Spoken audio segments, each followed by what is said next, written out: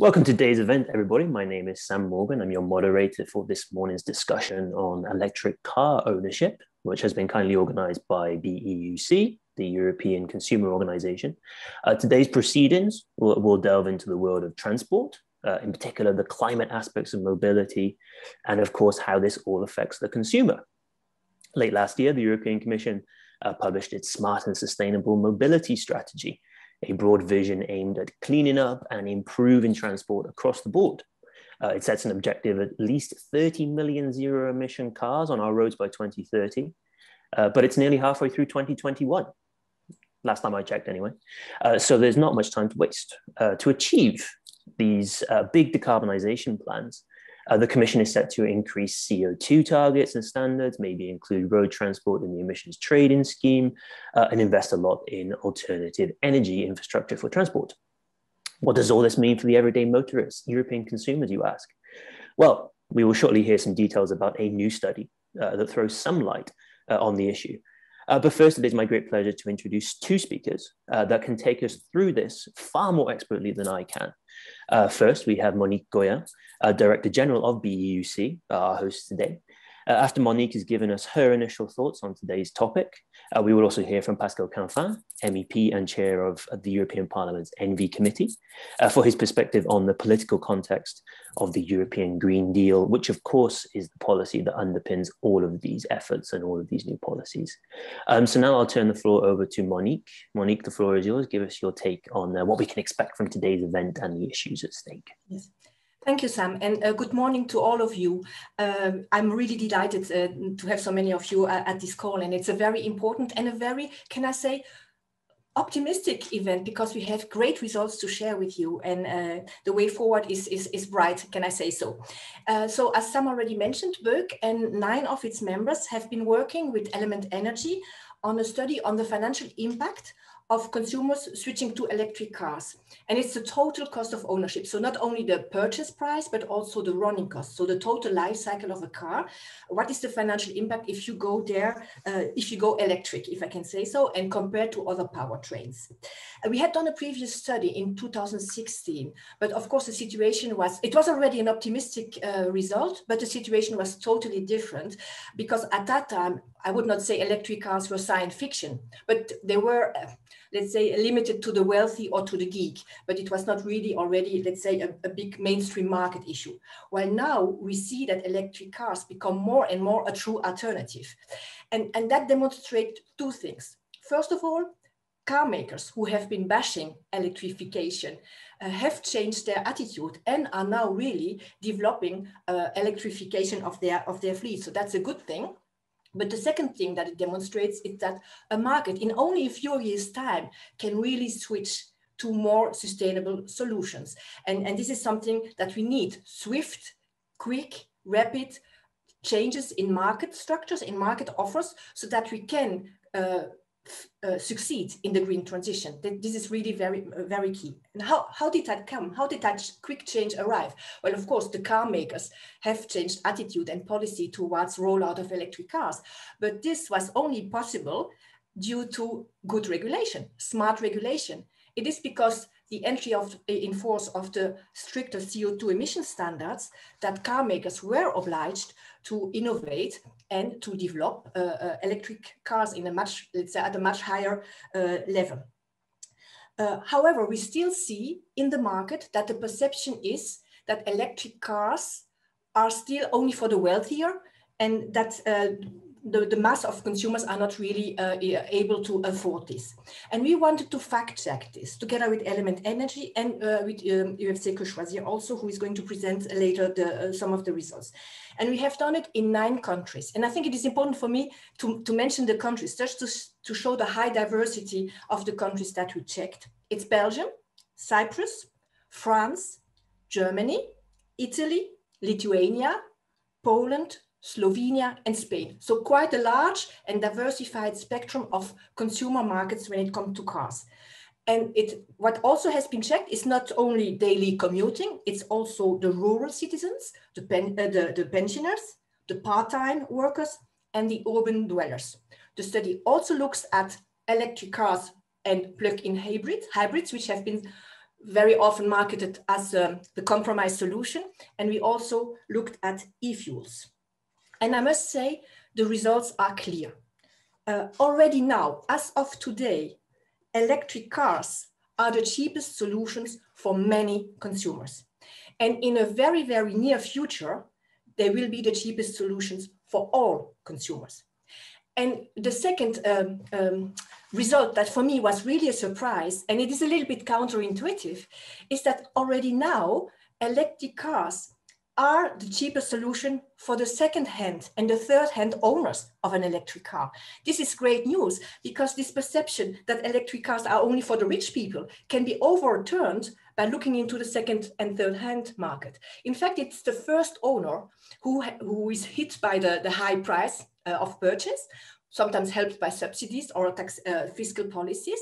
And he has to bear, or they have to bear the, um, the, the, the, depreciation. But the running costs of electric cars are so low that in fact, second-hand and third-hand owners are the beneficiaries of this. So um, this is really, and you will hear more about those results uh, by Element Energy and UFC later. Um, what I would like to say uh, as, a, as, a, conclusion for this uh, just warm up remarks, if I can say, there are in fact four types of benefits um, turning into electric cars from the consumer perspective. First of all, financial. So you, it will be cheaper for you to run a car when it's electric.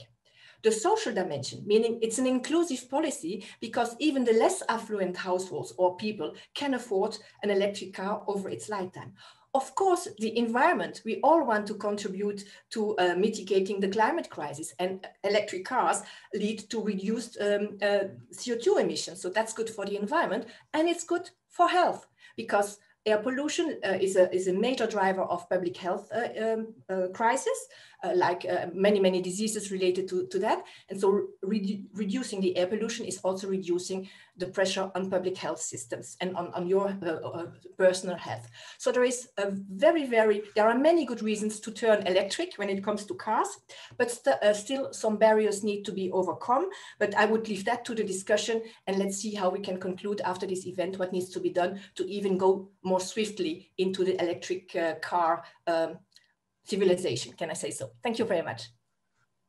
Thank you, Monique, for that, uh, that great scene setter for the rest of the event. Uh, Pascal, I'd like to speak to you now about um, basically, is this good news for the rest of EU climate policy? You were hard at work last week, of course, um, finalizing the EU climate law. How does all this fit in together? Give us your, um, your perspective on this. Thank you.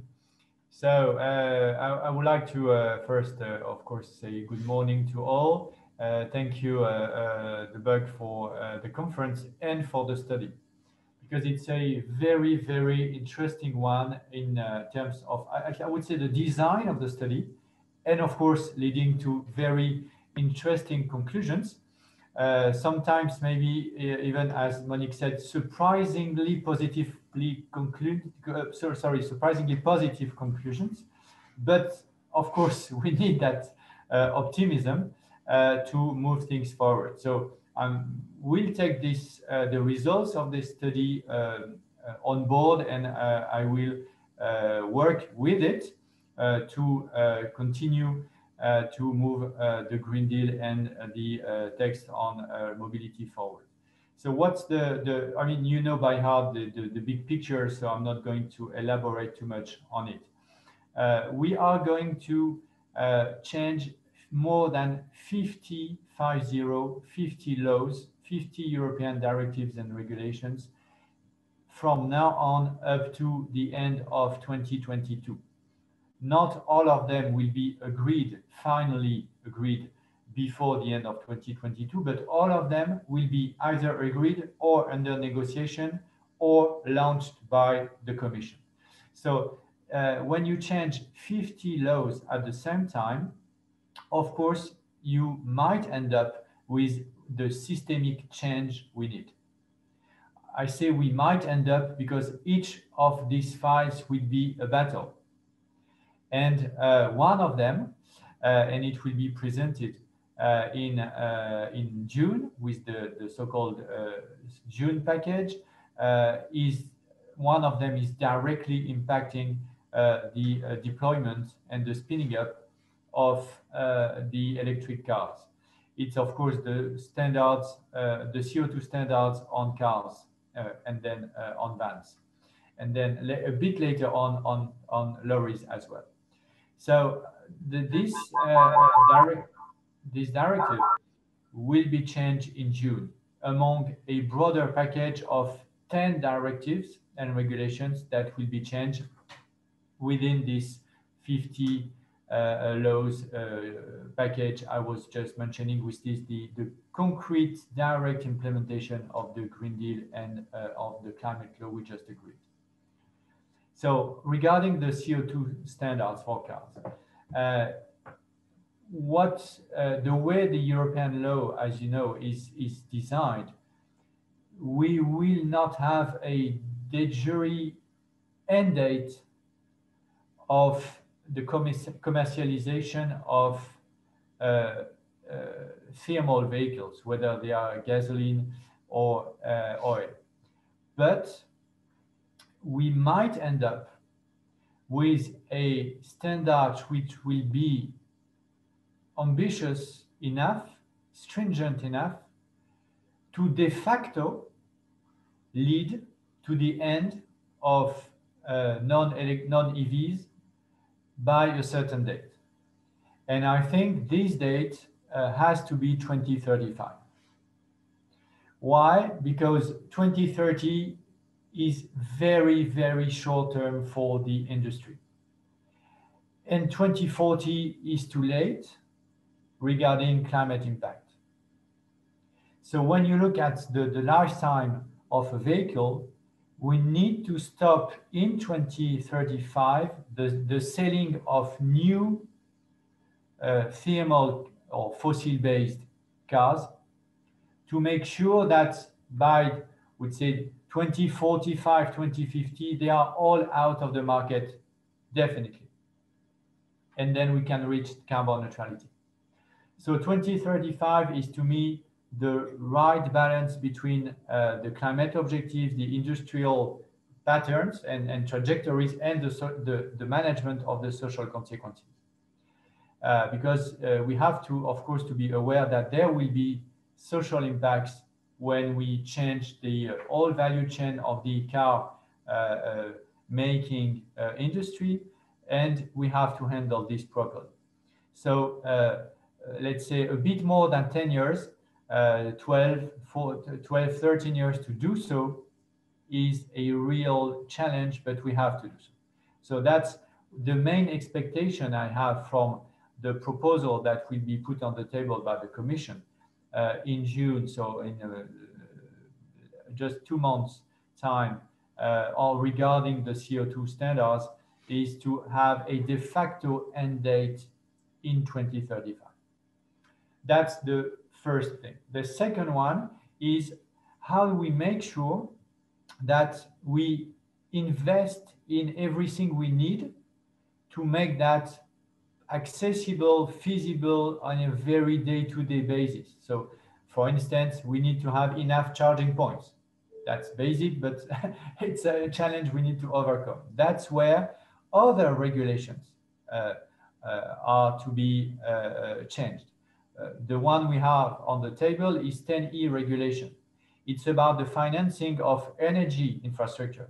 But you can easily argue, and that's the position which is growing in the parliament, that a charging infrastructure it's, is both, of course, a mobility infrastructure, but it's also an energy infrastructure because you have to connect the charge, uh, the charging point to the network and then to have a smart network to be able to deliver. Uh, so we want, as Parliament, we will very likely to have a majority to incorporate the financing of uh, these uh, uh charging uh, points into the TEN-E regulation in order to have access to other funds. So that's the kind of examples that we need to put together. And that's, for me, maybe the next step for NGOs, civil societies, and of course for, for the legislators to, to work together meaning uh, not only to, to think in silos, but to say, okay, what we want is at the end of the day, 1% electric cars by a certain date. So my date is 2035. What do we need from now on to 2035 to get through that. And then we would have a consistent package, consistent from an industry perspective, from a financing perspective, from a consumer perspective, from a social perspective, and of course, that's the basic, uh, from a climate and health perspective. We have as well uh, the battery regulation, because uh, I guess, Monique, you will get back to that, but uh, one of the challenges is to limit the negative impact on, on raw materials of the battery. So that's precisely why we have what we have, sorry, the, the battery regulation that will make the battery much more circular, much less impacting for uh, the environment, both uh, uh, upstream, I would say, and downstream. That's part of the challenges we have to overcome, but it's already on the table and it will be uh, in the parliament uh, table now uh, in the coming days. So that's that's enough for my side. But as my my mindset on this is precisely to work not text by text, text by text, but with a encompassing vision of what we need uh, to get through that and to have a proper clean uh, mobility, having uh, managed succeeded in changing the whole value chain of the car making industry in less than 15 years time. It's a huge challenge, but I think we are very well placed to do it. Many thanks, Pascal. I'm conscious of the fact that you have to leave us, but maybe one question before you do. Um, you mentioned how it's going to be a challenge to make sure that all of these various regulations and directives are all coherent. Do you think that the European Commission's smart mobility strategy that they published last year provides like the framework to keep all of these moving parts in one place, or do you think that there are going to be real challenges uh, coming forward to make all of this coherent to make sure that we have alternative and energy structure, as you say, in the place that it needs? Well, you know the the uh, the communication and the the strategy and so on. That's uh, it's fine, but what really matters is the legislative pieces. Uh, and, and so that's why I will focus on the legislative pieces. Part of them are in the smart mobility uh, uh strategy or communication. Uh, part of them are not.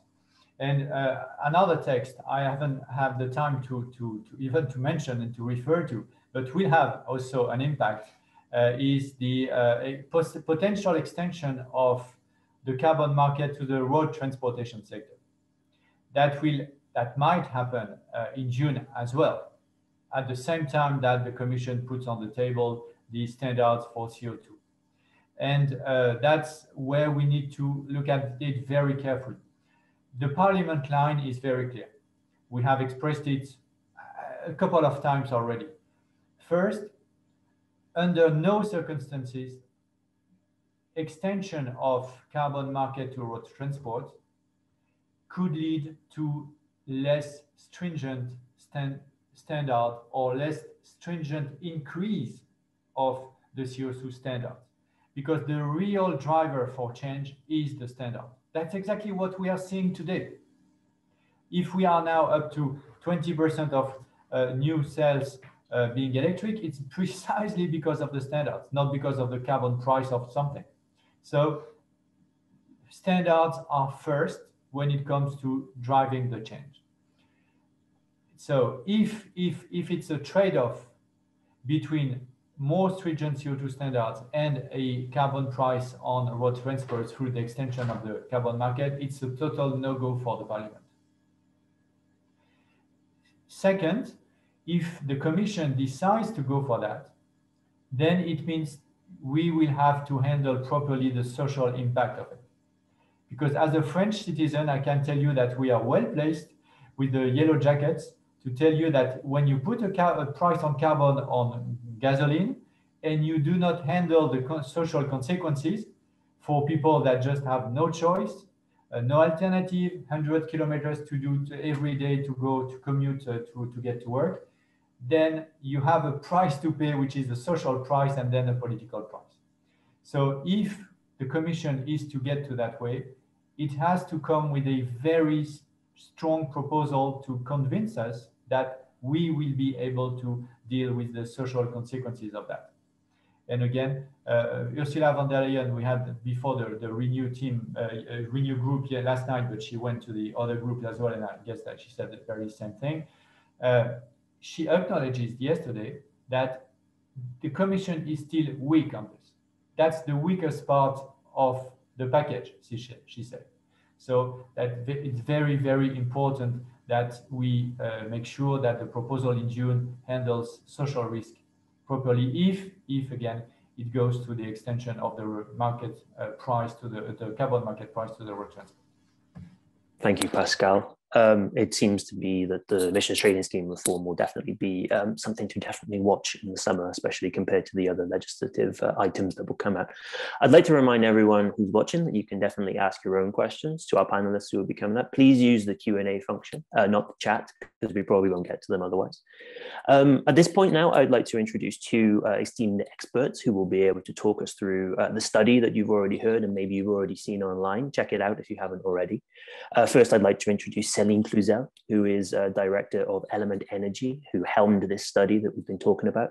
Uh, she'll be able to put a lot more meat on the bones about the specifics we've already heard about. Uh, and after that, we'll be hearing from Melissa Chevillard, from uh, the, who is European Institutional Relations Officer at the UFC Que uh, who will talk us around the national specifics of uh, the studies and the numbers that we'll be hearing about. Uh, so Celine, over to you first for an overview of the research that underpins the study that we've been talking about. Uh, tell us more about uh, electric car ownership and what it means for the consumer. Hi. Thanks, Sam. Good morning, everyone. So I've got a few slides that will come up.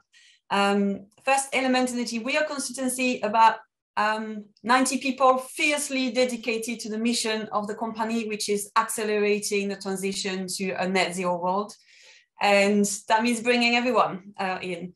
So a study on the affordability of electric cars is exactly the kind of things that we like doing. Because I'm a director, I was given the privilege to present the study today, but I need to flag the credits for the work is really going to a few of my colleagues, ex and present colleagues, Tristan David, Richard and Lawrence in particular. Um, some of them are here today to help with the questions if needed.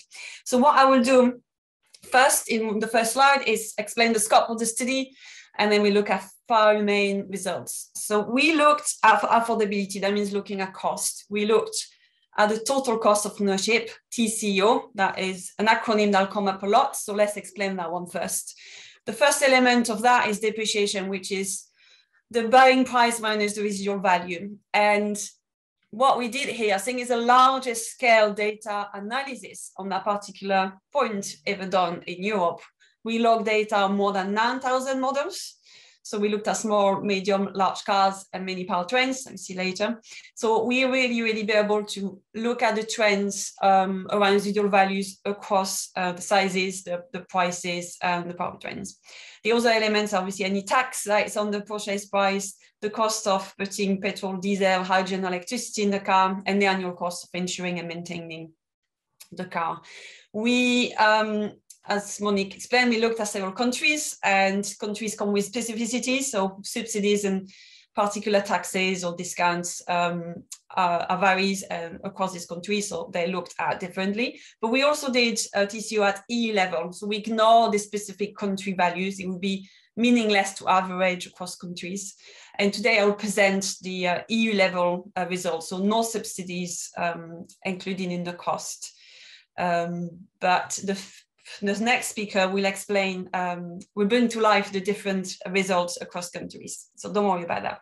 The other point to make um, is that we really benefited from the fact that we had local experts from each of the countries we studied, uh, people who could really scrutinize the assumptions we were taking uh, and all the, the values proposed there.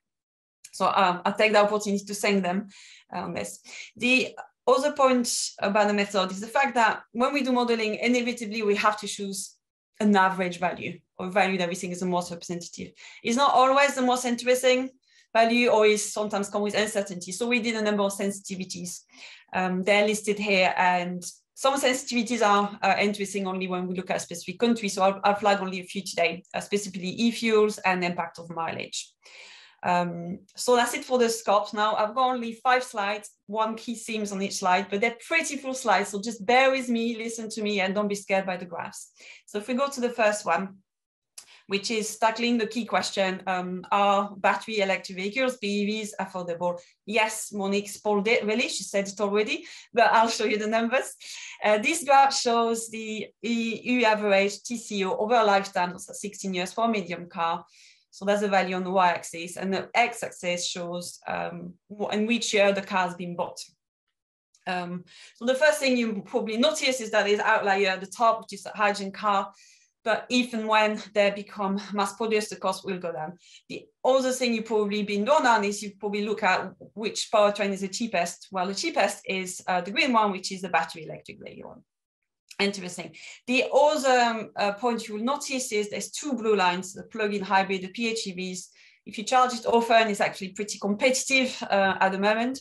But if you don't charge it, which will not happen sometimes, especially if the um, purchase incentive are um, going a bit too far, uh, people might buy it because they're actually quite cheap. Um, but then if you don't, they don't plug it, their TCO is really not competitive. Um, so PHEVs are not automatically bad or not automatically good uh, something to watch for.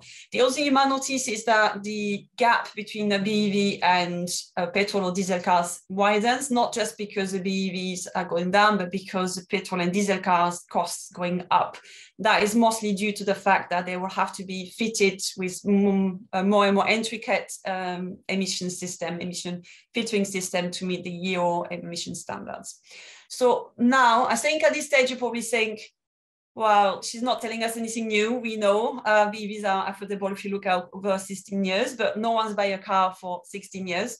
So I'll say fair comment, but now on the next slide, I'll show you that this is still a valid result because if we go to the next slide, uh, as Monique already said, the, the cost benefit is for everyone, the first and the second buyer. So here I've taken a slice of the previous graph. So it's just 2020, but it's the same, it's 16 years uh, TCO.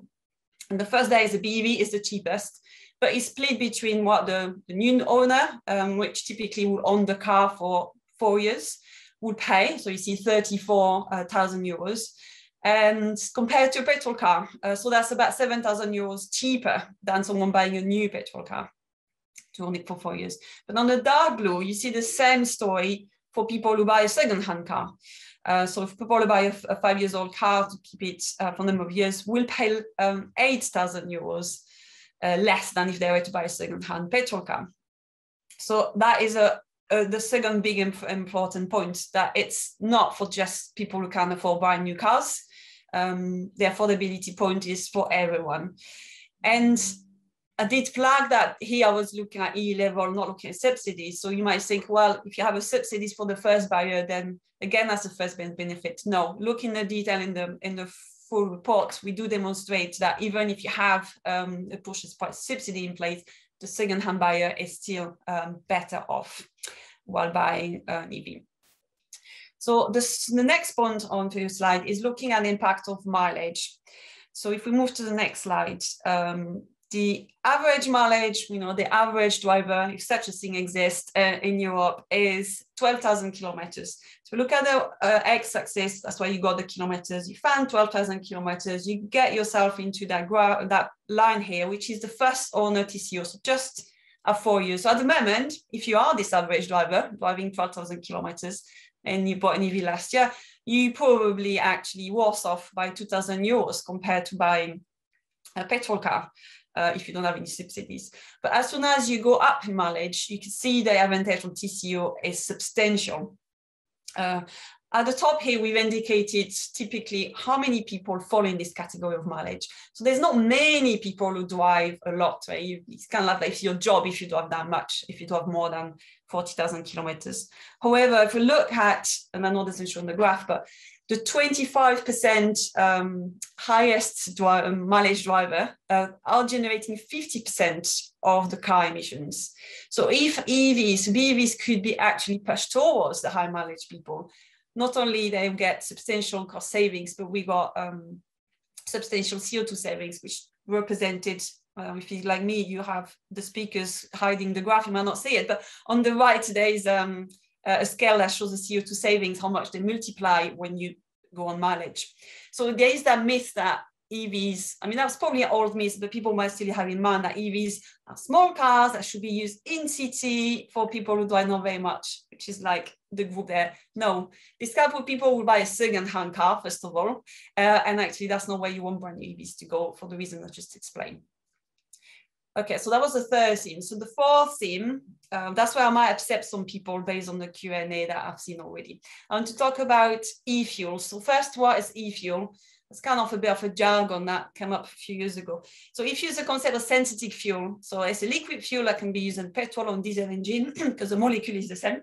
but the starting point is typically hydrogen, which is made from electricity. Because electricity could be renewable electricity, the end fuel um, uh, can be clean in the sense doesn't have a carbon footprint.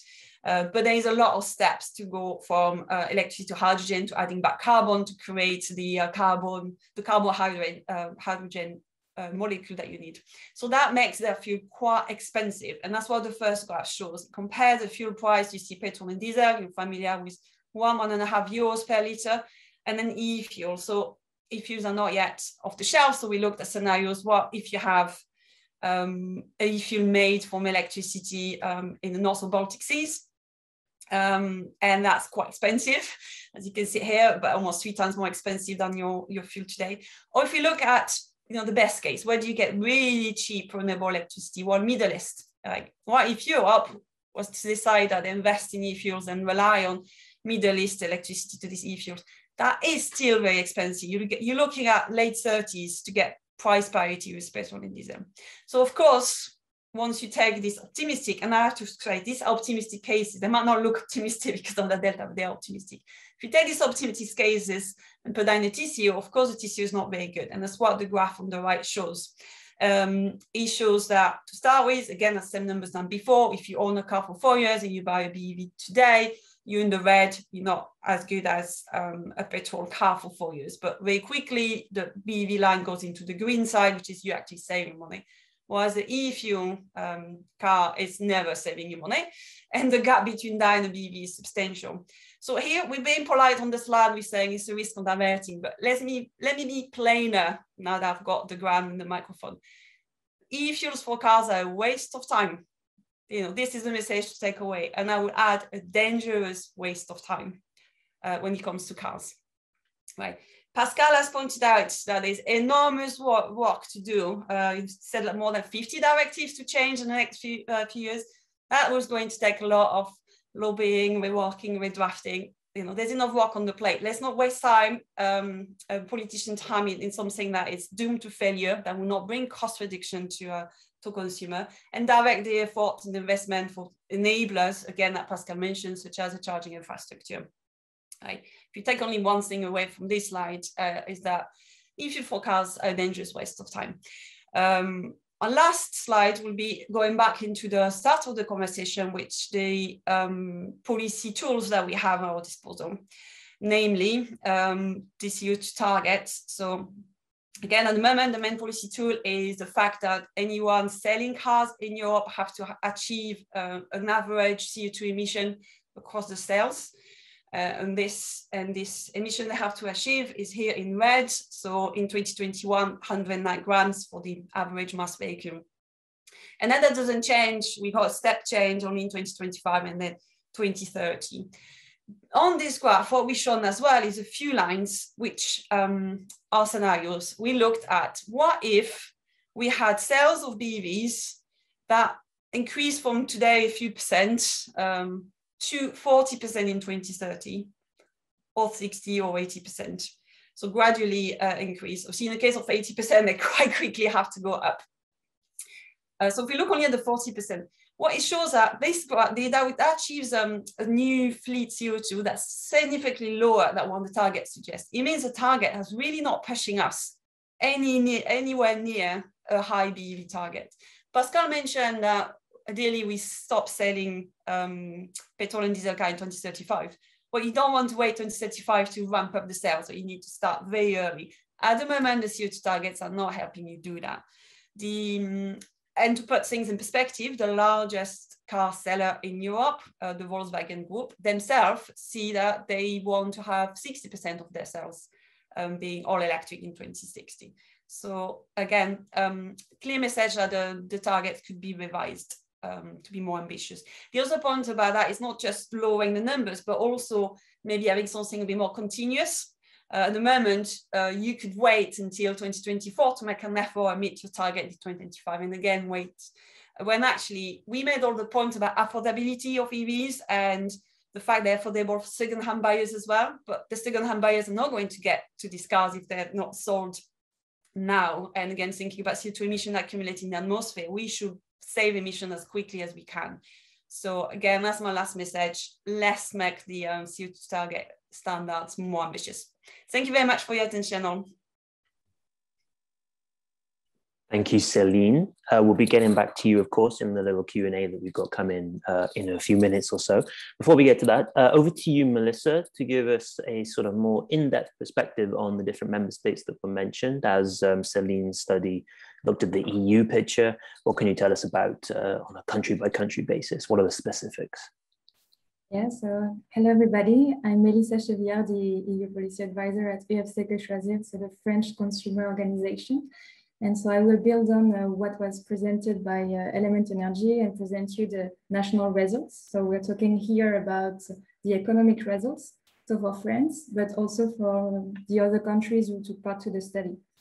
So the idea is to give you um, to give you an idea of how, how we can use uh, these findings to um, um how we can how we can give you this uh, concrete example how these findings can be used what they actually mean for eu consumers what are the lessons learned and how they can be used by policymakers.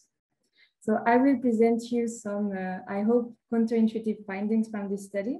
So first that BEVs will be soon the cheapest powertrains that they present some significant economic advantages for low-income consumers and that they are particularly attractive for high mileage, rural and suburban drivers.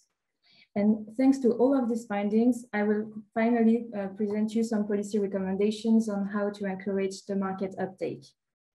Next slide, please. So when we talk about BEVs, we usually hear that they are more expensive than other powertrains. However, the study demonstrates that it's not true, especially in France, BEVs are already the cheapest powertrain over the car's lifetime for small and medium cars, but today. So if you have a look at the graph, BEVs is the bottom line, the bottom green line, and we can see that it's very lower than the other one. And for France, it will also be the case for large cars from 2024. So this is earlier than the EU average, and we can explain it because of purchase subsidies, higher average annual mileages, and fuel prices. Next slide, please. Myth number two is that BEVs are only for high-income consumers. But here again, our study demonstrates the contrary, because the eventual second and third owners of a BEV bought new today will access significant TCO savings. And we can explain it because of lower running costs compared to ICEVs. So here I have some concrete examples for you. The first one is about France a medium BEV but new today will save over uh, almost uh, 5,000 euros for its second owner of a petrol ICE. For a German pensioner with low mileage, driving a second-hand Renault Zoe would save 1,500 euros over the first five years. Let's go now to Slovenia. For a Slovenian family that will replace its second car by a second-hand BEV, it would pay 1% less than for a petrol ICE car. And finally, a resident of Vilnius using a home charging point would save 5,000 euros over five years by buying a second-hand Renault Zoe. Next slide. And the myth number three, BEVs are in priority for urban drivers. Here again, our results shows the contrary. High mileage drivers would benefit the most from switching to BEVs on a TCO basis. So that's why we think that they should be considered a top priority group for raising awareness because they can have the greatest savings. And uh, since they're driving a lot, they can also, they also have a big potential to reduce their CO2 tailpipe emissions. So now an example from Spain. A Spanish commuter driving over 30,000 kilometers a year can expect to save more than 14,000 euros over the first six years. And so what about Belgium? A Belgian commuter that drives a lot would save 6,000 euros over four years if owning a Tesla Model 3 rather than a plug-in hybrid electric vehicle such as a Volvo. But this is only the case if it charges its PHEV every day. However, we know that uh, it's not only the case, especially for company cars. And so if it doesn't charge it, the difference would be 16,000 euros. And finally, a German commuter driving a lot with a new Tesla Model 3 would have a 50% lower TCO than with a petrol ICE. Next slide, please.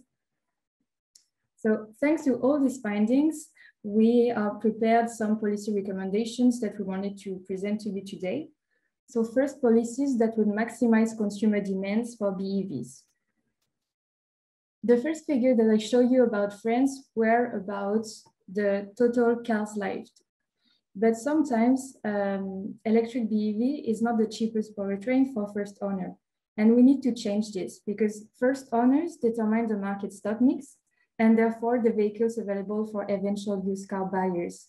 So national authorities have a responsibility here because they can uh, steer the market in the right direction. And so how they can do it? They can do it with well-targeting national incentives. This will allow to tackle the higher upfront costs for first owners, but also to accelerate the market parity and the development of the second-hand markets.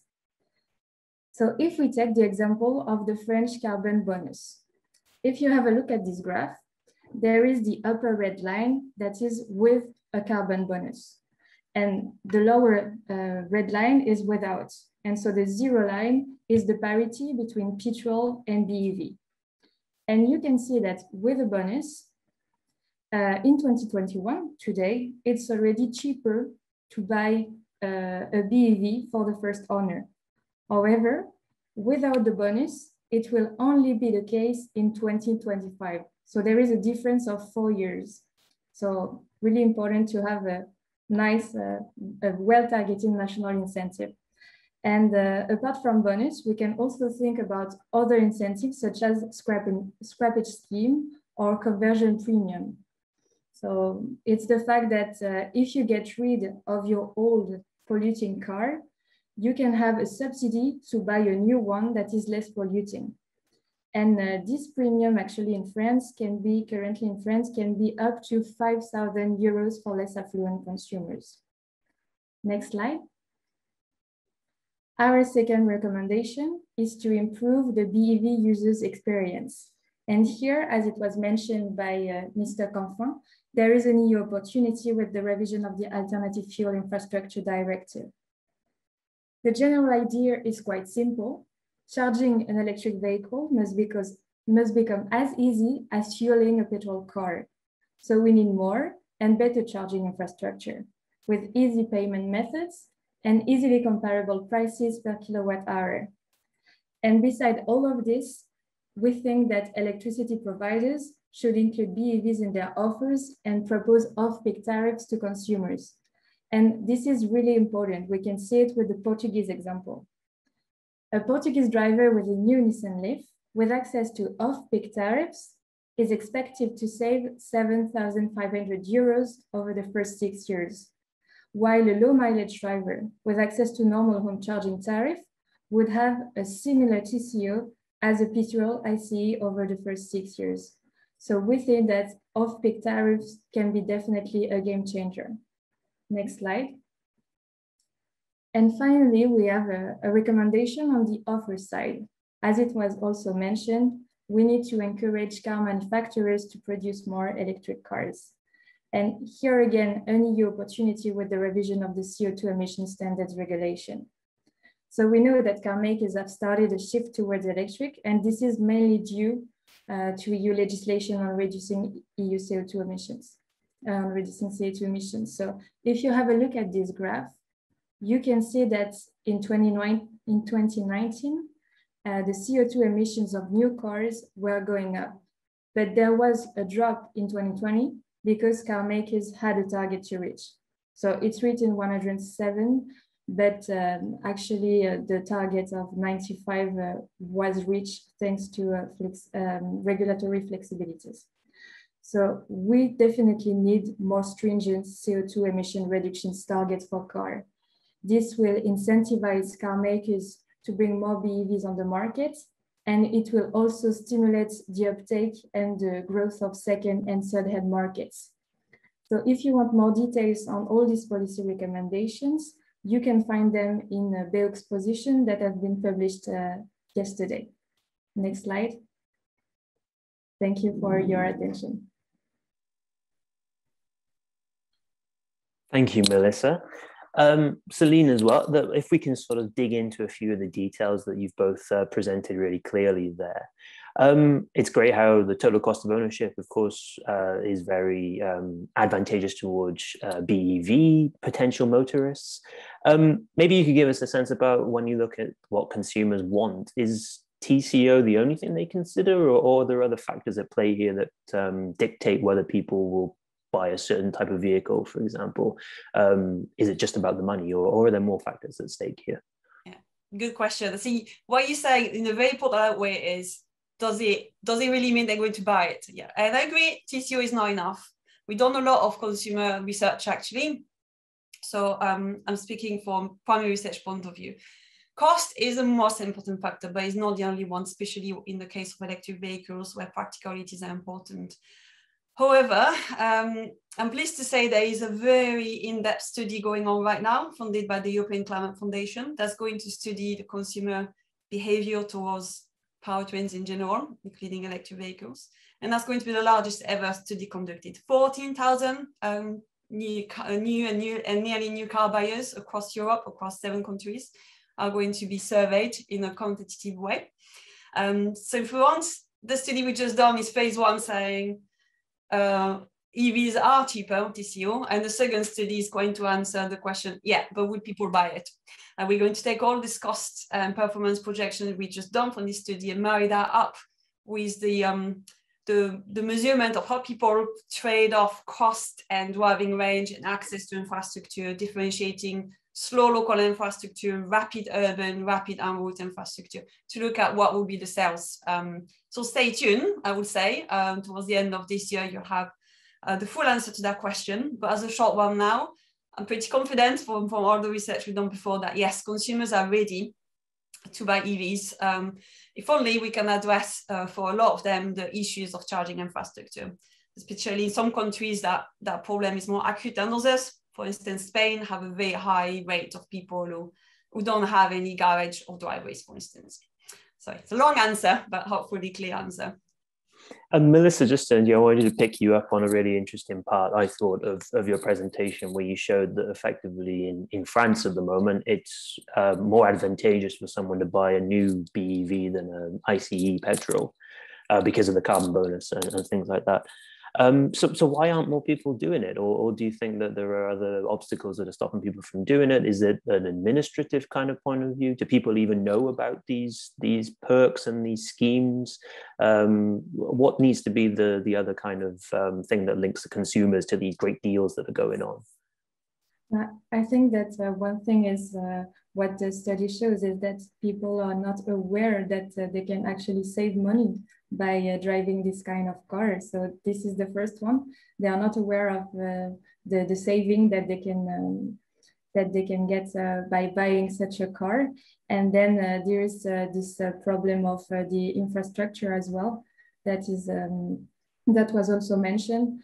people say, yeah, but will I be able to charge, charge my car if I'm driving a long distance if I have to do a long distance journey. So I think uh, these are these uh, are two um, elements that can explain uh, uh that uh, some people are not doing it at the moment. But I hope that this study will help to uh, give them more information about these opportunities. Is there a kind of is there a potential role for car manufacturers to really build this awareness as well to really you know make the most of this product they're selling by making people more uh, aware that there's this great deal on offer, for example, or, or is it groups like yours that um, you know need to basically tell people that there are these perks on offer? Yeah, I think that uh, car makers are definitely part of the solution and that uh, we should all communicate about uh, disadvantages. And um, Celine, uh, Monique made a, a, point at the beginning of the event actually about how rapidly the situation has changed with electric vehicles. The, the previous study in 2016, like she said, made it look like a kind of you know sci-fi option for for people like I don't know Elon Musk fans and this kind of thing.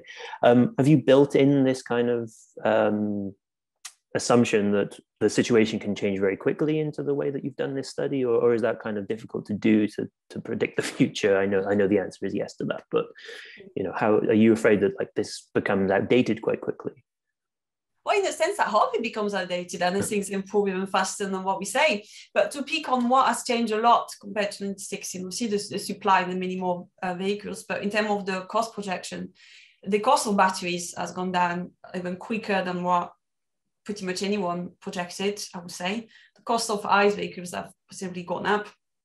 Um, but in terms of outdated, you could you could like I'll, I'll, answer a question while answering your question. I'll answer one something on the, the, Q and A. Right? Someone asked what average price have we used? So we use the world outlook price, etc., for residential, and we haven't assumed any off off peak um, cost um, tariff reduction for electricity. So actually, you could argue we've been quite pessimistic for electric cars, and that could be one thing that becomes quite outdated quickly in that study because especially in the UK, we see a lot of innovation on tariffs uh, on that to attract people. And then that question as well, they ask, but um, not everyone charges at home, not all the time, and public charging is expensive, for instance. Um, and then we actually done a sensitivity on that, and we show that yes, if people charge at rapid all the time, rapid charging, that could delay the affordability point by about two years you see a, a, plethora of numbers and years in the report, but we look at these things. So that's an area that where things could go um, out of date. There's so many innovations, even even on the ownership models, right? Um, at the moment we looked at people buying a car, but remember the graph I was showing about mileage. Ideally, you tackle the high mileage, and high mileage are more about shared cars actually, application like taxi, and it's a good thing, uh, moving away from private car ownership. Um, so yeah, hopefully the next study to your will be about the cost of uh, mobility instead of the cost of ownership. Um, yeah. I mean, like, what was the maybe one of the findings that you found most surprising? You know, even though you're you're an expert in these things, I guess from my point of view, it was this kind of assumption that I'd always had that electric vehicles have been and maybe still are just for people who live in in urban settlements in cities and so on. But it does appear to be from your study that you know people who live in rural areas as well because of the way that they use their cars can also benefit from this you know was there anything that really oh that's that's not what i thought it was going to be that was shocking that, that came out of this for you well okay um you maybe don't see, but I've got quite a lot of white hair, so I've seen a few things before. um, I still, still, there was some surprising. For me, the most surprising thing was the contrast between member states, um, the disparity. And Lawrence made a very nice graph that shows the level of uptake versus TCO savings. And there's some like you think if TCO, the higher TCO savings, the higher uptake, but there's some outliers here. And that really puts into contrast the fact that there's things outside the TCO that's important, namely the charging infrastructure. And again, Spain is something that come up as, you know, there's a lot of work there. And I know our selection of countries was very diverse. That was the point of it, but I was still surprised about how the outcome and the outlook can be diverse for um, for car buyers in across these countries. Yeah, that probably that would be the most surprising to me. Uh, but still, the message is positive everywhere. It's just maybe a little bit more work to do on the enabling factors in some countries. And maybe for me, if I may just, please, yeah. I, I think the, the most interesting finding is that it's already interesting for less affluent consumers and uh, that it will be very interesting on the second-hand markets. Mm -hmm. Thanks, Melissa. Thanks, Celine. Uh, thank you for both of you for your presentations and for your sort of insights into this as well. It's really interesting. Um, maybe you can both stick around for the rest of the event as well if you can, in case there are any questions that come up during the next panel. Um, speaking of which, uh, and please, everyone watching at home, your questions are already coming in thick and fast, and we, we will get to them. Uh, keep asking away in the Q&A, not the chat. Um, it's my pleasure now to introduce um, our three panelists for the rest of the event. Uh, first up, we have Peter Dolejsi, who is Director of Mobility and Sustainable Transport at ACEA, the European Automobile Manufacturers Association. Uh, then we have uh, Julia Poliscanova, who is Senior Director for Vehicles and E-Mobility at Tra uh, Transport and Environment, a clean NGO, Clean Mobility Engineer, pardon. Uh, and then we have Daniel Mes, uh, a member of the cabinet of Frans Timmermans, who is, of course, uh, the European Commissioner and Executive Vice President for the European Green Deal. Um, I'm going to head straight over to Petr, first of all, uh, to give us his thoughts on this study and um, basically what you think of this whole idea of electric car ownership. And then we will go to our next two panelists as well. Uh, Peter, floor is yours. Thank you very much and uh, good morning to everyone. Um, okay, I, I, think I have uh, three or four pages of, of, of comments and, and, ideas for what was uh, presented, so uh, enormously difficult to, to structure that. But I think, of course, I, I leave aside the, the assessment of the uh, of the study. Being an economist, uh, always you, you can play with the figures, uh, and of course, so certain conclusions are interesting, but of course, depending on assumptions that I, I, haven't seen. And of course, we all know that you, you can play with that how, you want to for me, the, the most important message is uh, that, that it clearly shows that, uh, firstly, there's a move. Uh, and I think that I'm, I'm, happy this is, this is recognized. And definitely, this is not a, question of, of a year or two. in case of our industry, uh, to, to develop a car, it, it takes six, seven years. Uh, so uh, it shows that if we have cars today on the market that are delivered to the consumers, this is not something that, that started in, in 2019, but really we, we have invested enormously in the past and, and now we, we are reaping the benefits. Uh, so, so this is something that needs to be definitely taken into account uh, for us. It, it's a really long run and we started in time when no one was talking here uh, about massive e-mobility. And I think um, the second point related to that, that this is a package. And, and I think that uh, what we did should be followed by, by the others as well. And speaking here especially about infrastructure, because uh, uh, again, now it's, it's clear and proven that uh, the infrastructure is, is, is the biggest bottleneck. And from our experience, okay, uh, this is not a question uh, of, of a day or two. so even though the infrastructure operators and infrastructure providers would like to, to let's say, make the change, they will not make it tomorrow. It takes time. Uh, it takes time with the permissions. It takes time how, how, how to develop, let's say, the network, etc. So there we feel a, a huge, uh, huge bottleneck uh, uh, that limits, uh, let's say, the consumer consumer awareness and, let's say, limiting their concerns. Um, a third point that is related to that, and, and th this is for me one, one of the essential parts of, of the study, but of course, really, this is a package. You know, e-mobility is not only about about the cars. It is about uh, environment. It is about infrastructure. It is about uh, incentives on, on the national and EU level. So we, cannot see that just only from the optics that okay, uh, we, we, mandate uh, the manufacturers uh, to to register cars. Uh, I, I, think now thinking about this, the slides from from the French experience, you know, we, we are treated according to registrations, which means the first user. And if I'm not mistaken, one of the assumptions of the study is that the first user is, is for years uh, usage. And if I, if I remember well, if I have a look on the French case, with a massive, uh, really massive financial contribution and subsidies, even after four years, uh, it's, it's still negative. Uh, and imagine this is only for, let's say, 10% of the registrations that we have today, how that will look like if we have 30 or 40%. So uh, we need to think about how to make uh, the, the, whole ecosystem sustainable. Uh, what is working today from the side of the of the interventions uh, and also uh, other taxes that are supporting the mobility. If, if I have a look, for example, in, in Netherlands, uh, in principle, 90% of the Teslas are company cars. And I'm pretty sure that the Dutch are very good in counting. so they know why to do that because it pays them off. and, and from their perspective, the total cost of ownership might be very interesting, but that will not work maybe in other country.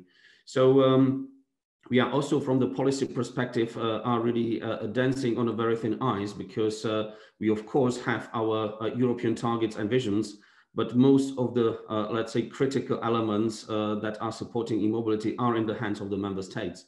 And this is not related only to, to fiscal and non-fiscal incentives, but again, going back to infrastructure.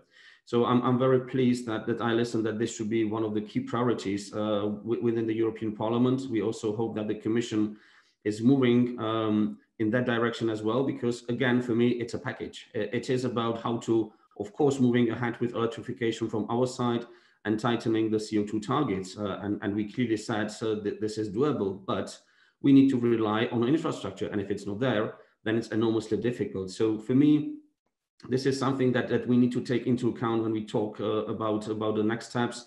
Uh, uh, of course, we, we are in discussions with all the policymakers that uh, really, if we want to move to a certain date and phase out uh, whatever we call it, then of course we all need to have a certainty that we have conditions that we, we can transfer into that.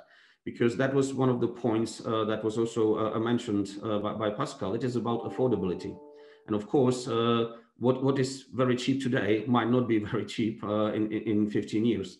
And of course, uh, we can subsidize on, on one side uh, the products, the cars, or we can subsidize uh, the electricity. But uh, it's also fair to say that we, we have to all pay through the or the, the right uh, hand of the, of the coin towards the electrification and towards all the, let's say, investment that is made on the side of the infrastructure, on the side of the society, and on the side of, of the manufacturers. So that, that were my first comments and quick reactions on the presentations. Thank you. Many thanks, Peter. We'll be obviously delving into Q&A in, in a few minutes or so, so everyone get your questions in as well. Uh, Julia, over to you now. Um, I guess the results of the study are kind of music to your ears, really. It shows that uh, electric car ownership is getting cheaper, advantageous. Uh, that's, that's it, really. What else? What else do you want to say about it? Uh, thanks, Sam. Uh, so um, a few points from, from my side, uh, th three points really. I think first of all, just overarching is to say that this is this is an excellent and also a very timely study. Just as key policymakers in the European Commission, but all across Europe, are really gearing up about what the next set of climate measures should be. Uh, it shows that today already for first, but especially also for low income users, a myth that still persists and it breaks that myth that battery electric vehicle is the best option economically. And I think that's a very strong message. Um, the first point that I'd like to cover is actually to look a bit back to really stress and understand what is behind the affordable battery electric vehicles coming to the market. Uh, we criticize the European Commission a lot on many things, but this is where we should actually applaud and say something really great because the, the, this is the result of the European vehicle CO2 standard, especially the car CO2 standard we have in Europe. This is just to really understand what it does by it actually pushes the car industry to invest to scale up the production of electric vehicles. And it's that scale that you cannot achieve just by slapping a carbon price on everyone, but it's that scale of the car CO2 standard that is pushing car makers to invest in things like platforms, like Volkswagen and others are doing. It's pushing to invest in huge battery electric uh, supply as well. So the battery cells so it drives down the cost. And I would argue here that from what we have seen, the real investments to meet the 2020 targets were being made in 2017, 18, and 19. So not at all the six or seven years uh, Peter was just mentioning. In 2015, we were busy arguing whether it's the efficient diesel or electric car, which is better for the environment. So it is moving much faster today in today's supply chains than, than what we think. Um, it's really important as well that the CO2 standard is really the one that is targeting the right social structure of the car market. So it targets the first market, companies buying vehicles, corporate users, people who can just afford the first car. But then importantly, why, why when these people bought those cars, a few years later, they're available as second-hand market. And it's really impressive in the study how it really stresses the importance uh, of second-hand users benefiting from these vehicles and to give them those vehicles. We need uh, higher and more ambitious CO2 standards in the first place. So what shall we do? I very much agree with, uh, with um, very strong and excellent summary of, of Celine also and, and of the recommendations in the study. We need to increase the car CO2 standards to get more battery electric vehicles in Europe. Uh, just raising 2030 target is not enough. We will see benefits of it in January 2030, and we will miss the 2020s and we will fail our consumers. I know that there's so many proposals and, and, and regulations. Mr. Canfin said 50 legislative acts the one thing to prioritize within the car CO2 review, its ambition pre 2030. That's what matters. And a few, uh, two more quick points on, on costs.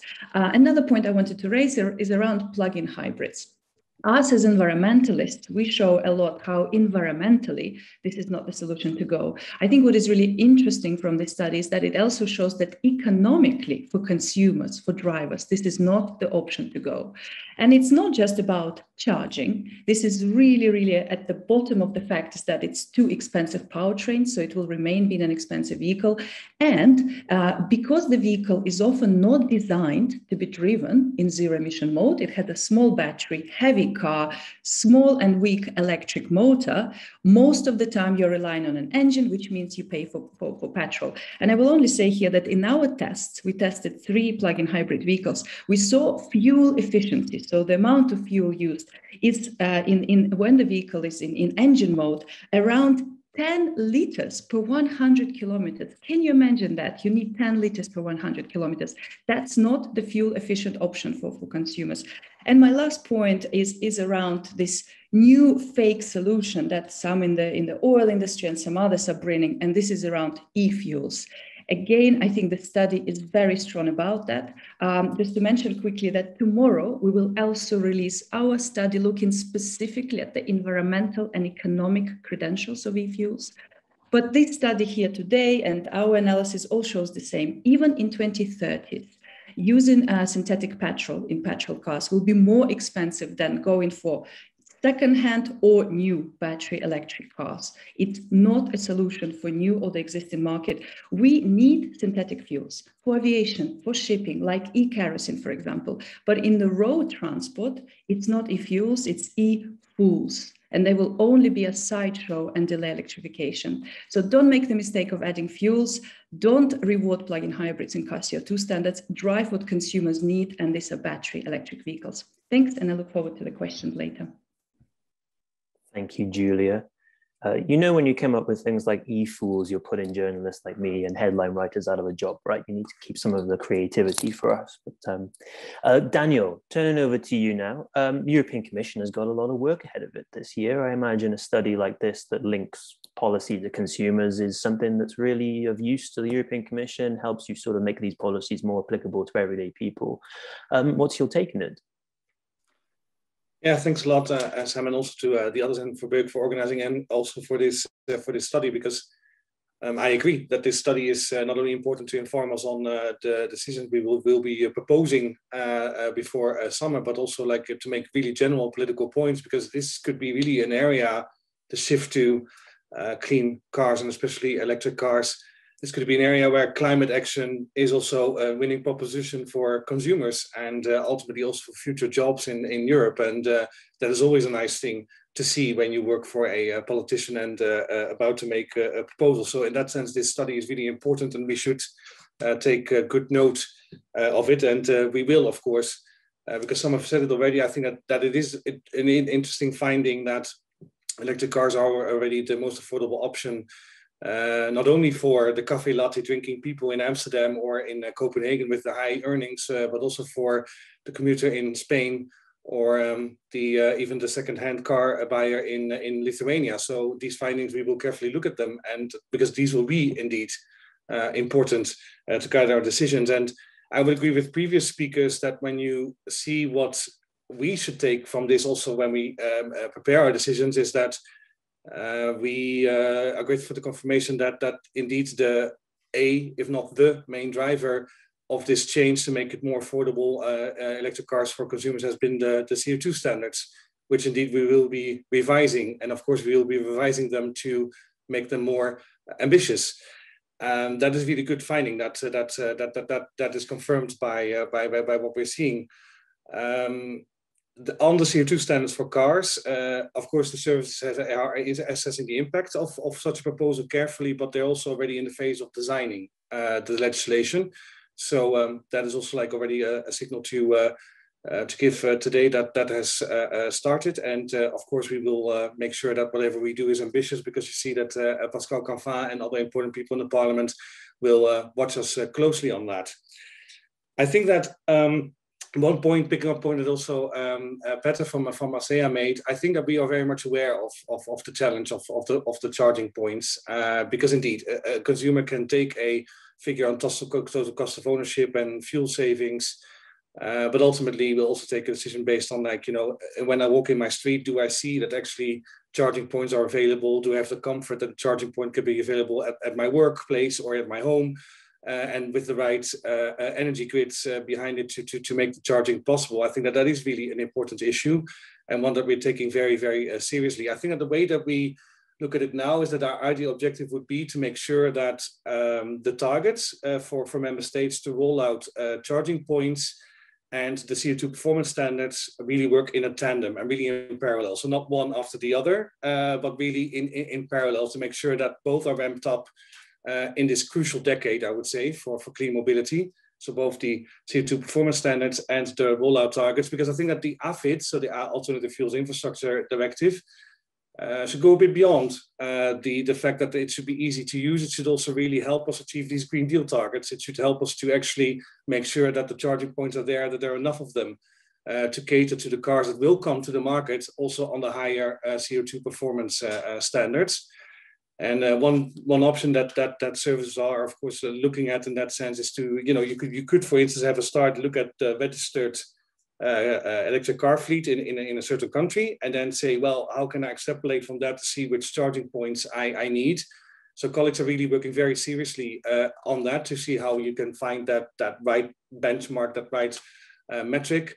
Uh, but the parallel development, I think, is, is, is the one to, uh, one to watch out for. So we are taking that very seriously. And to conclude a bit on, on, on, on some of this, also picking up on something that also Pascal Canfin said, uh, sure, this is a question of like which which proposals the Commission ultimately makes and the regulations, but it goes far beyond that. I really see, and this study is one uh, one, one, one branch at that tree that, that we've been seeing already, that this is also where the businesses and the markets are heading. They are heading towards uh, electric mobility.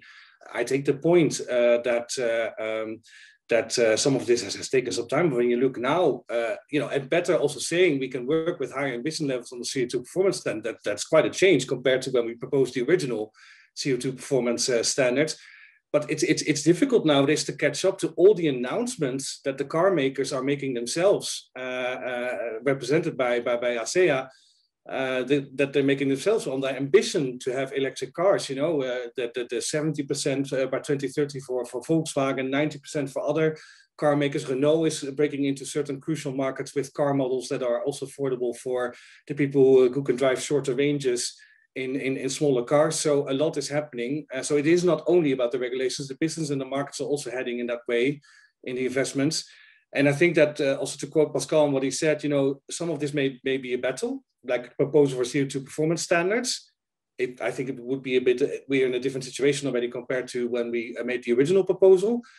Um, but it's a battle to be had. I think that that, that is uh, something that this study confirms that if this were to be a fight, it's a fight to be had. But I would rather prefer that this turns into something of a bigger transformation plan because it is absolutely right that target setting is not enough. You need to make sure that this transformation actually happens, and you need to have really an overall game plan, uh, not only in the field of like infrastructure and energy grids and transport, to make sure that everybody has the comfort that they can drive freely. A car is freedom for people, so they need to feel the comfort that they can drive freely somewhere and and, and charge the car.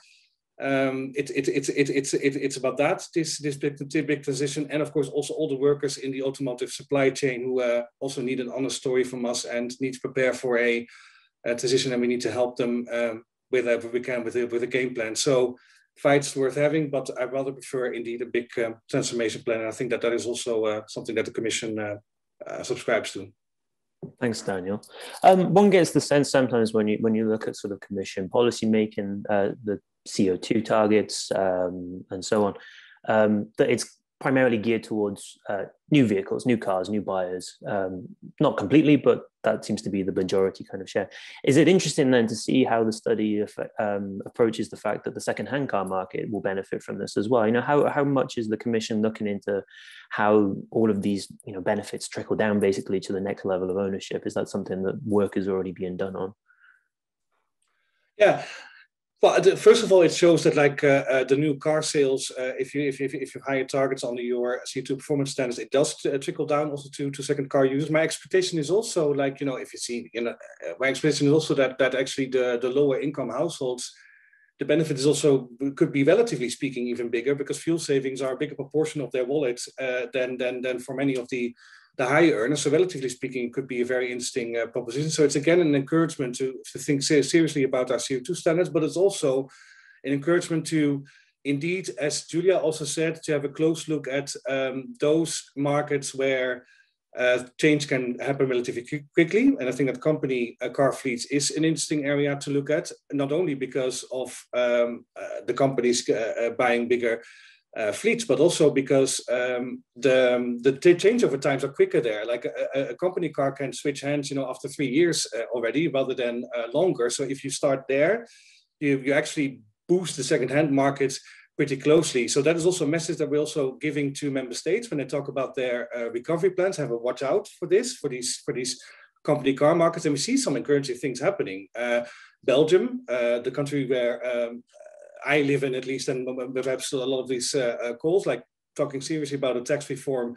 Uh, and other reforms for the for the corporate car segment to make sure that we have more of these electric company cars on the streets. Very, very, very good that that is being discussed very promising developments in, in France. Uh, you see in, in, in, in the UK that, uh, that leadership is also taking that field. So that is something that we definitely uh, are taking up also with uh, member states and the recovery plans and uh, encourage. Thanks, Daniel. Uh, Petter, you mentioned how um, member states are, the ones that are going to have to do a lot of the hard work in terms of infrastructure and subsidies if needed and, and things. And, and, Daniel just mentioned the recovery plans. Do you have big expectations there for you know the likes of Germany, France to really um, go beyond and push forward with rolling out more infrastructure, be it electric, hydrogen, whatever? Well, well, we hope so. uh, but I think, as as Daniel mentioned, uh, exactly those uh, you know, and, and also related to, to the total cost of ownership uh, from, from a longer term perspective, definitely we agree that uh, uh, the, the benefits for the second or third owners are, are, are, great because all the hurdles and all the system that should be, let's say, fine tuned, this is up to us. This is up to, to first registrations according to which we are treated as manufacturers. It is about exactly uh, different taxation schemes and supportive measures for, for the fleets that can really turn uh, the, the amount of vehicles in a much quicker way, which of course then provides the benefits for, for, for the second owners. So they are really the critical ones. And um, we had several discussions also with the Commission and with also our national associations. These are the critical elements that really can make the change because really this is this is a national competence. Uh, let's be very frank. Uh, without those changes, that are supporting uh, the, the transition and a switch uh, on, on a national level, we, we, cannot move on, on a European one. So, so for us, this, this is absolute priority and, and definitely we are working on that. Uh, and then, of course, we, we have the tools uh, that uh, that can help on a European level. I think AFID was was mentioned here several times, where you know very well that okay, for me being a very liberal person, asking the Commission to regulate a couple of years ago that was a challenge. But in principle, it was the only way how, how we as industry were able to, to, let's say, echo exactly the question of the charging infrastructure. And we requested already at that time, I think 2014, the mandatory targets uh, from, uh, from the Commission. It was proposed, it was watered down enormously, and, and we have AFID uh, directive as it is today. And it's toothless, and exactly after, after a couple of years, we are struggling with the, uh, with, uh, with the infrastructure. So you have definitely mentioned and noticed that uh, we are teaming up with, with Julia and, and her team, and jointly we are asking for, for really very ambitious and binding targets for the member states because it is one of the rare tools on a European level where we can tackle those issues that are really hindering the development of the e-mobility. And just turning to you, Julia, one of the accusations that's get that gets thrown at electric vehicles, and it's one of the questions actually in the Q and A, is the the life cycle assessment that um, it takes. You know, you used to drive a certain number of hundreds or thousands of kilometers in an EV to reach the same greenhouse gas output as uh, an ICE car because of the, the more emissions that are supposedly emitted during the manufacturing process. Uh, and the question here from uh, my namesake Samuel says, uh, it's completely omitted in the current legislation. How can this be fixed? Um, is this something that's changing rapidly as well? What what can we expect there from um, policymakers or even just the real world industry? Um, thanks, Sam. I mean, that's one of these myths that that keeps on keeps on giving and keeps on living. From the life cycle point of view, there is a number of robust, independent analyses that have negated this argument now for years. On a life cycle basis, an electric vehicle today, in fact, on last year's electricity in Europe, is already three times better than, uh, than, than, a diesel or an engine vehicle. So it's better, battery electric vehicle is better. We are now looking more into the various alternative options. And for example, in that study we'll release today, you will see that we, for the first time, will also have done a life cycle analysis compared to e-fuels. And there as well, the battery electric vehicle on EU grid electricity is around 40% better. So let's just put it to rest. And there are still if some people are still wondering why these myths keep appearing about life cycle emissions, I just recommend looking into the Aston Gate scandal in the UK, just, just to understand it better. Um, I would like to really stress that it's also really not correct to say that we are not targeting all life cycle emissions in Europe. We're just not targeting this in one regulation on car makers because car makers, guess what, don't control the entire economy and society of, of, of the world. They can't just make decisions about something that happened somewhere else. We are controlling fuels in the fuels regulations. Renewable Energy Directive is the place for that. We are looking into the batteries, which today sometimes is uh, still an issue that needs to be improved around battery electric vehicles in the dedicated battery regulation. So tailored approach to the right sectors and overall as a framework, we're covering life cycle. I'd like to make a quick point on infrastructure as well, if, if I may. Uh, both Daniel and, and, and Peter talked about it a lot. Um, indeed, we're teaming up with, with ACEA, also with BEUC and others. We think it's very important in the growing market to ensure seamless infrastructure infrastructure. And there is a real opportunity with AFI law, with infrastructure law coming in June. I would really stress, especially what we're talking about here a lot in the study, the benefits for second-hand uh, users of EVs. These people still need charging infrastructure. So this, if there's one thing where European laws can specifically help, is to place binding targets on all the member states. We actually don't worry so much, to be completely honest with you, with the Netherlands or Germany. The governments, they're already doing a lot. But in a lot of Central and Eastern European countries, Southern countries, where the first EV market is not yet as big, we sometimes keep forgetting that we still need charging for the second-hand EVs. So giving those member states binding, very ambitious targets is important to make sure that every European can benefit from an electric vehicle, not only people who buy new cars. I guess another another recommendation on the the life cycle point is uh, don't buy a Tesla with Bitcoin as well. It's another uh, thing. Um, I just wanted to call back to this point that Pascal made right at the beginning, Julia, about how he thinks that um, 2035 should be this cutoff point for a de facto ban on the ICE engine. Um, what are your what are your your thoughts on those two things? That it should be de facto and that it's 2035. Are, are either of those things sufficient in your view, or, or tell us what you think? EU-wide, if we want to meet the ambitions of uh, the European Green Deal, and if we look at the average lifetime of a car, 2035 is the latest date at which Europe should set phase out of diesels, petrols, hybrid vehicles uh, as well. It's really important to set that signal because we're not only changing the car makers. Some car makers already voluntarily changing themselves and going for full electric. We are changing the entire supply chain. We need to send a signal, charging, batteries, skills, all of that takes time. So setting now 2035 allows us all to work together. However, a lot of segments, countries, cities can go much sooner. Cities should all be phasing out engines by 2030. Countries like the Netherlands, Norway, even Western European countries don't need to wait until 2035. In fact, they can go sooner. And of course, some parts of the market, urban fleets, high mileage fleets, company cars, all need to be there before. But EU wide, I would agree with Pascal that 2035 is politically feasible, the latest date at which we should be doing that. And just turning back to you, Daniel, on, on this idea of you know making sure that this isn't just a northwestern European um, cleanup of mobility. This is an EU-wide exercise. Um, how you know what are the kind of ways that we can prevent it from just being uh, the Netherlands, Norway, whoever um, getting on board with electrification and cleaning up transport? And also making sure the likes of Romania, Bulgaria, Croatia are also on board with this. Is it is it purely an infrastructure thing? Um, again, is this the recovery plans? This is the moment to make sure everyone's on the same page. Where, where do you see the real kind of um, moments for you know success?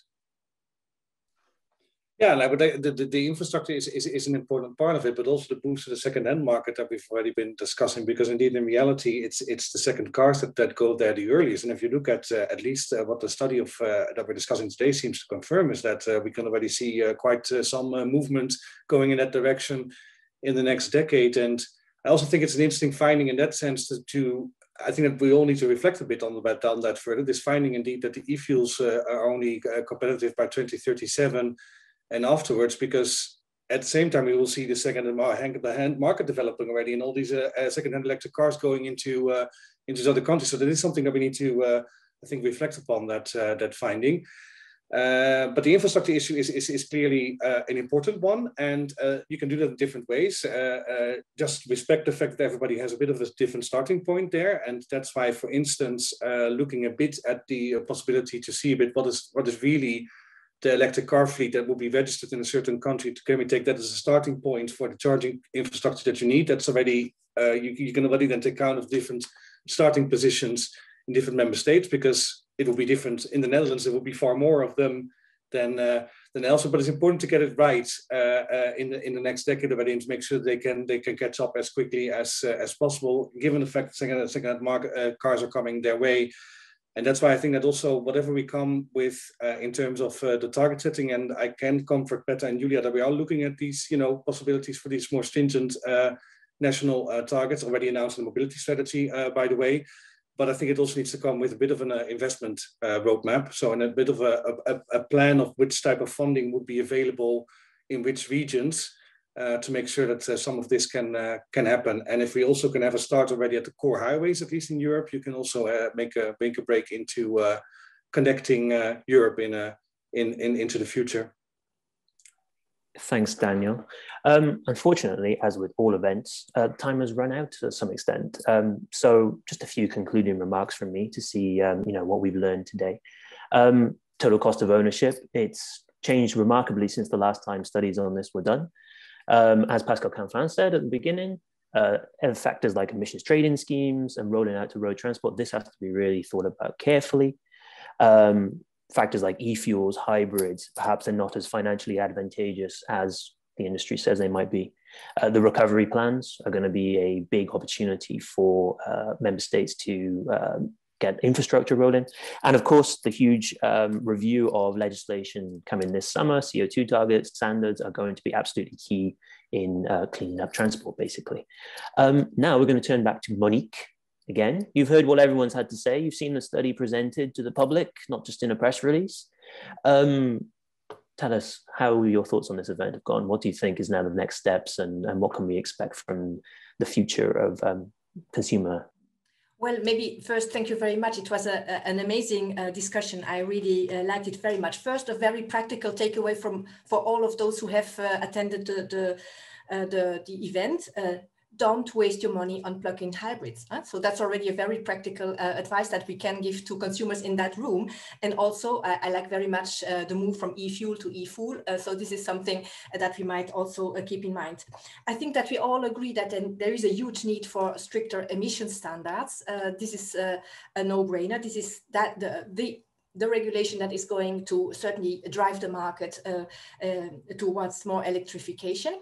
What I also very much, uh, but it's also like a global, uh, it's not only about stricter emission standards.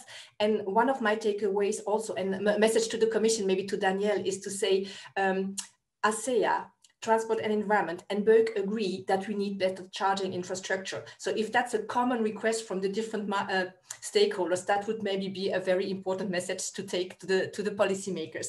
Um, there, but there is more than charging infrastructure. Like Pascal said in the beginning, it's also the whole energy infrastructure. Charging is only part of the of the of the of the of the equation, and also the battery. Huh? So I mean, the pressure on raw materials needs also to be tackled.